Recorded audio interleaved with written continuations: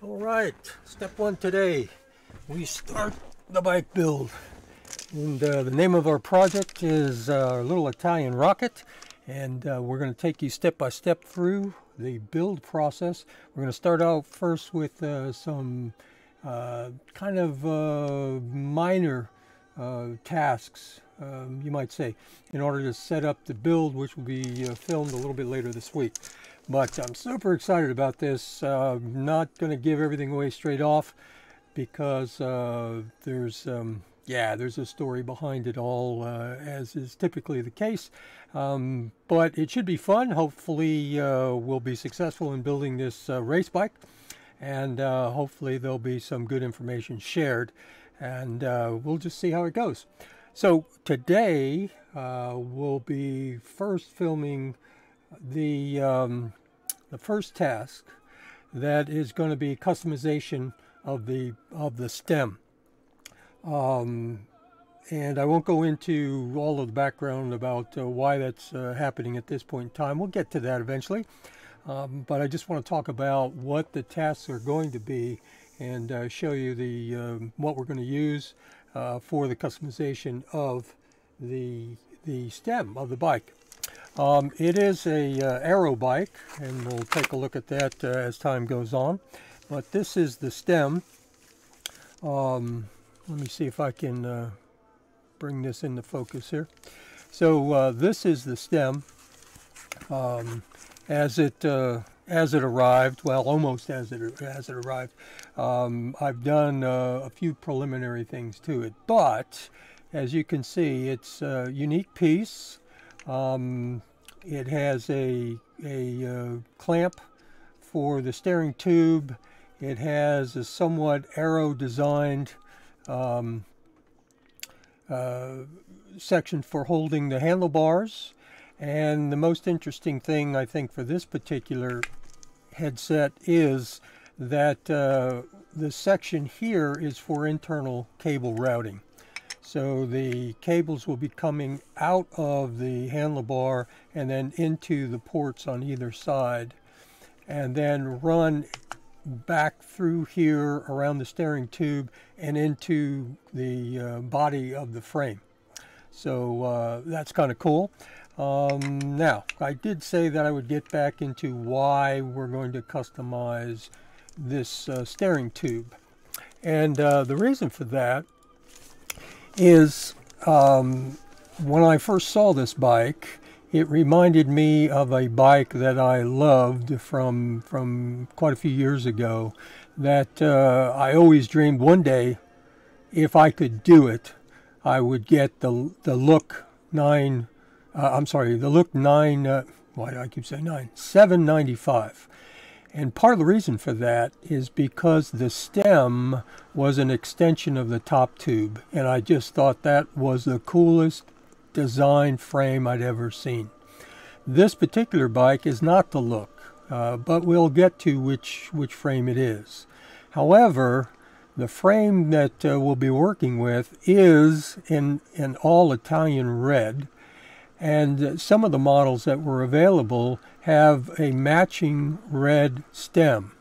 And that, uh, to me, is a particular point that I fell in love with uh, years ago when, when I first saw um, the model of uh, the Look 795, which I think was 2015, if I'm not mistaken. But nevertheless, um, so that was one of the reasons. Now, the particular configuration of the of the frame that uh, I eventually decided to purchase uh, did not come with a like painted stem. It came with uh, a black stem only. And uh, there, there's another story associated with that. It came with a 120 stem.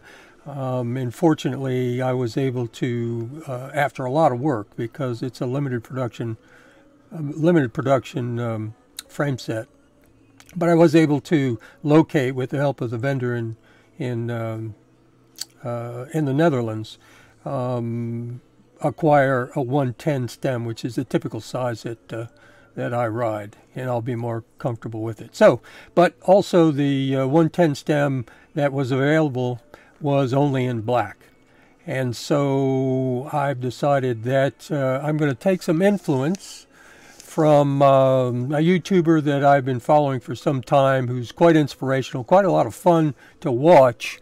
And uh, his name is Martin Grey, and his his channel is the etoe.de channel. And I would invite you uh, to go watch that, all about painting bike frames and bike uh, components and so on. So I've been inspired by Martin, and uh, we're going to take on the task of uh, painting the stem. We're going to come close to matching the uh, the red of the of the um, uh, the rest of the frame. So we have that continuous red theme uh, going from the top tube directly into the stem but I thought I would, uh, as I usually do, um, sort of promote a little scope uh, creep here, and we're going to do a few other things. Uh, I've done a drawing uh, here. Maybe we can drill down on it just a little bit. Yeah, and so what we're intended on doing, let me flip it around so it almost simulates what we have what I'm intending to do is we're going to actually have uh, three colors on the stem as it's uh, indicated in the drawings here. Um, we're going to uh, have the red, the Italian red, in most of the front coming across here and then we're going to break away and come down a little bit just to give some more continuity of the red frame into the stem and uh, paint this uh, with an Italian red. I'll show you those paints in just a moment. And then uh, we're going to put a bit of a fine line here and below that we're going to do some hydrographic dipping in a black carbon which I have here. So we'll be doing uh, hydrographic dipping of the stem once we prep it and get ready for that and we'll be filming that as well. Then um, what I've done already is that there were some graphics uh, and I've taped those off now. And those are in a bright red well, with a um, it looked like a water transfer uh, decal underneath this. And now the stem has been finished. It looks like in a 1k maybe a little better than that clear coat. But um, uh, we'll, we'll, be uh, we'll be sanding it down first. We'll be applying the colors in the hydrographics and then we'll be finishing it up with a clear coat but we're going to go high gloss on the clear coat so it's going to be a 2K clear coat and we'll be using uh, this product here which uh, I was first introduced again by Martin in his uh, his YouTube channel and he has uh, of course he's a professional and he's been doing it uh, quite some time so his results are spectacular and again I would invite you to go visit with uh, his channel etoe.dk but uh, in any case, um, that's how we'll finish it. So let me share uh, the paints that we're going to use. I, I, also do some other types of projects where I do uh, custom painting. And uh, one of the paints that I've found uh, that I've had some success with is um, this brand, um, Tamica. And uh, so what we'll do is we'll start out with their primer. So as I mentioned before, I've already taped off the white graphics, which we will leave. And uh, those are indicated right here. So we've got three sections of white graphics right there, which we will leave because it's quite a nice uh, bright white. Then we will uh, next do this section down here. Now, as it is, it's a black finish on the on the carbon stem.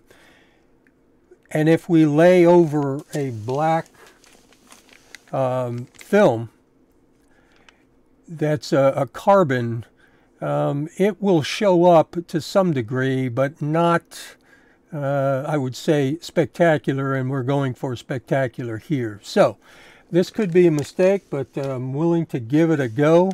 What we're going to then paint in this section here, down here, as a base coat will be this guy here, which is a Tamiya TS45, which is, if I can stop shaking, a pearl white. Uh, I've used this color before and I was quite happy with the way it came out. So the interesting thing here, at least interesting to start off with, we'll see how interesting it is once the project is done, is that uh, we will first sand everything down. The next step will be to um, apply the base coat in this area right here, which will be the pearl white. The next step will be we will cut the the black film, hydrographic uh, carbon film. We'll do the dip application. Then we'll come back and then apply the red after we line off with a fine line tape this section right here. Then we'll mask this, which should have already been carbon dipped. So we'll see the carbon quite graphically because of the white uh, base coat that it's laid over. Then this will be the red color. And again, I'm using the Tamiya. And in this case, uh, a pretty good match to the frame. And this is Tamiya's uh, uh TS8, which is their um, Italian red. So I'm pretty excited to see how close that uh, color comes. In any case, it'll be a one-off for sure. And if we're fairly successful and we don't get, uh, eventually don't get toasted by, uh, by uh, Martin and uh, just scolded for doing all these things incorrectly, um, it'll be interesting to see how that turns out. So that's where we're going to start today. We've got uh, all the equipment. Uh, we've got the paints, we've got the hydrographic film in, in black carbon, we have the activator. Um, I'm uh, mentally prepared to do the dipping process, so that's all good. We even have a, a mask, a proper mask um, to, uh, to do the painting, uh, but more importantly to do the activation on the hydrographic film. And uh, I'm guessing that this will probably take um, take me a couple of days because I'm going to start today with uh, the sanding and then um, we'll just take it from there. So with that, I'll end this first video. I'm excited to get started finally with the project. It's been uh, on top of my mind for a couple of months now. Um, it's been uh, good fun, uh, although a bit expensive, going through and, and uh, individually selecting all the components for this bike.